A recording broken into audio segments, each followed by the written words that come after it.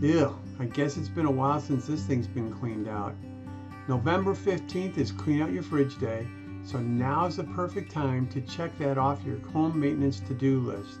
And I've got three tips right here to help you get it done fast.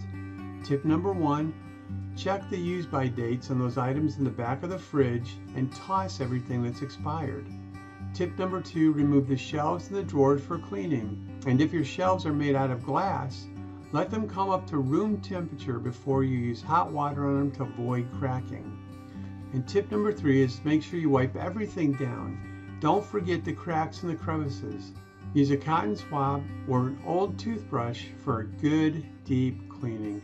Did I miss anything? Just let me know in the comments below. Hakuna Matata means no worries for your real estate days.